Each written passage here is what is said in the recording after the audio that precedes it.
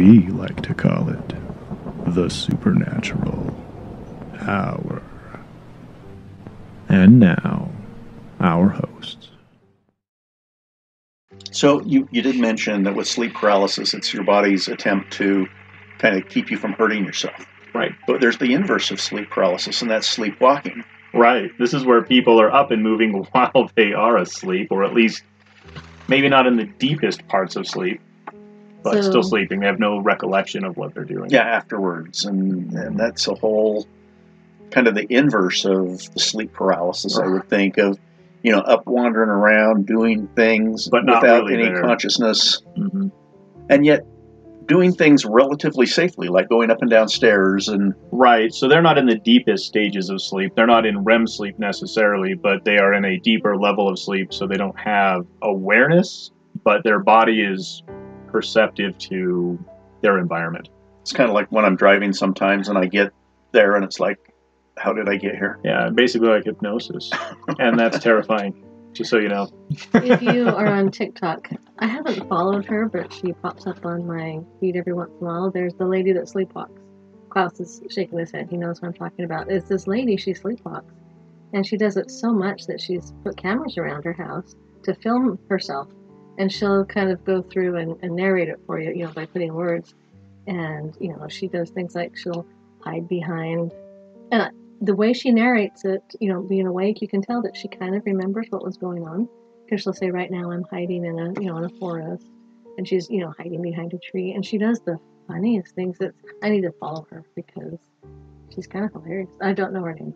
So Does she lock herself in her home so she doesn't get out? She's married or, or has a partner of some sort because he's in there as well. Make sure he doesn't. She doesn't do something. Yeah, but it, it's funny. Oh, I'll have to look for her name. It's But um, prob- I on mean, if you go to TikTok. TikTok and just search for Sleepwalker, it'll probably come right up. A blonde lady. And while you're out there at the TikTok, get our TikTok. Hey, shameless plug. Yep. Advanced Paranormal, right? Or is it Advanced Dot Paranormal? advanced stop for a moment. One of the two. Okay. So one of the things that um, if you if you think you're having sleep paralysis or you, you are having sleep paralysis, you know you'll want to take care of the medical problems if there are any medical problems. And so one of the things that I saw several times was keep a journal, you know, like a dream journal, but keep a sleep paralysis journal because when you go to the doctor, it helps doctors to know everything. You know, if you go in with a whole bunch of I don't knows, they're like, right? Right. You can only assume, right? At that point. So, you know, not only maybe keep a little journal of when it happens, you know, whatever you think is important. What did you eat the night before? When did you go to sleep? Just journal everything.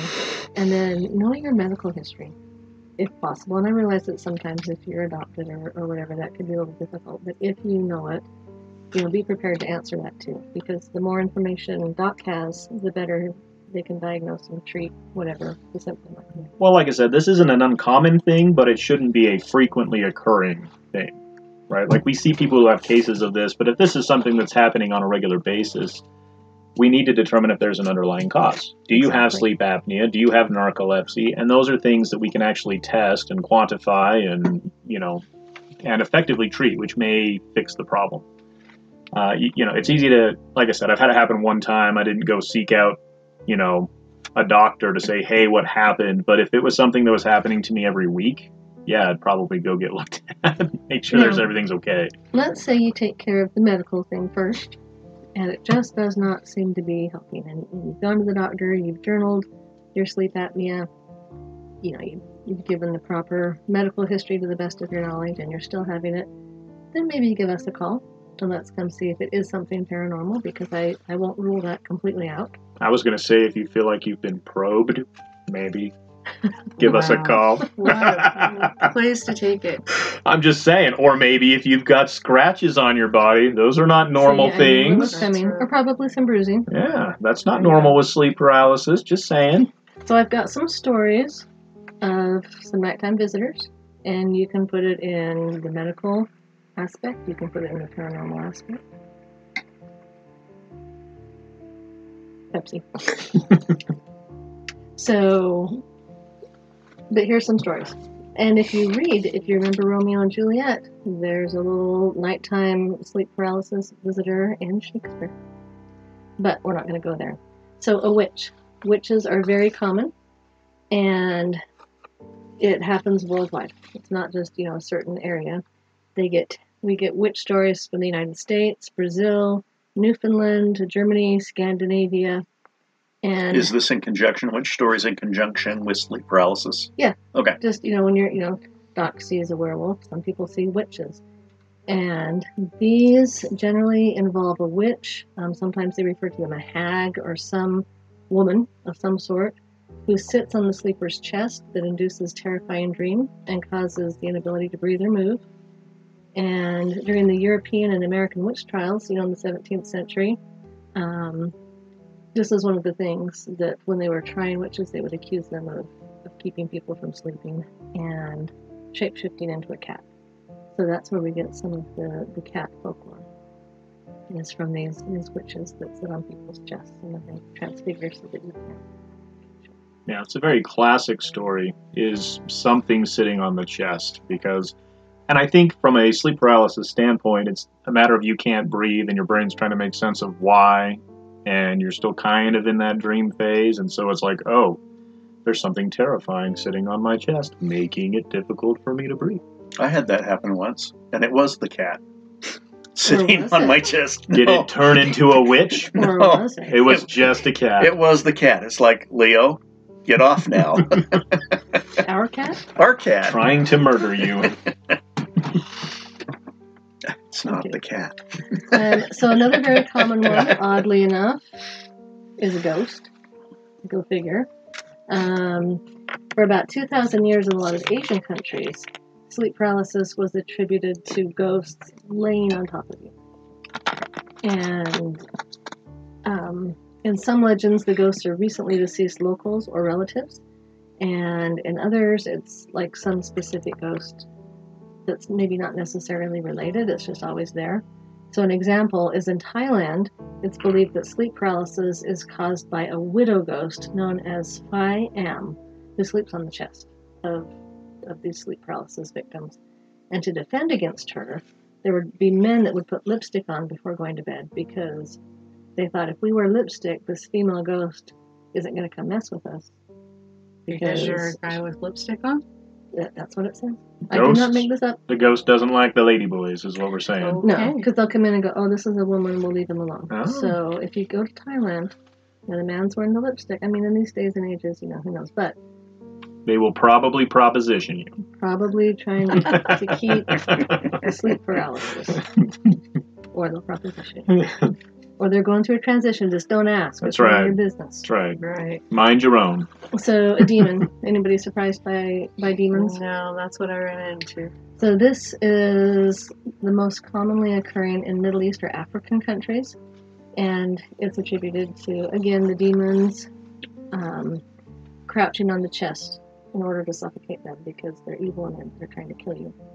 And this dated back even to ancient Arabian mythology, and they believed that it was winged demons would pounce on the chest of the sleepers who had not been praying because they pray five times a day.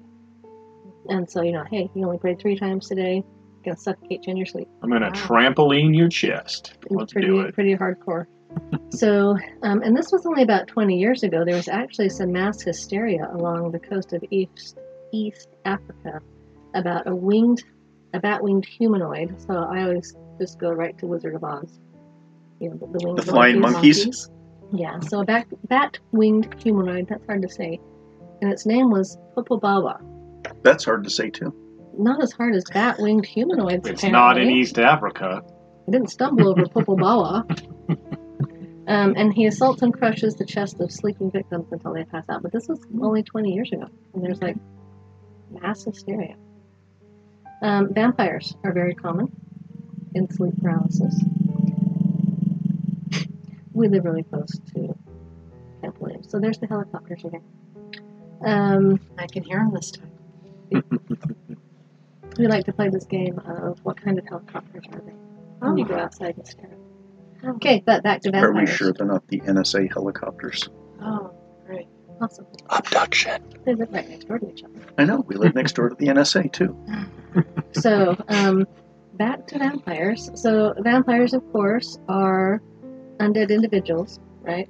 Who not only um, will cause the sleep paralysis, but then they suck your blood. Yeah. This is most common, shockingly enough, in southeastern Europe and was really, really big in the 18th century.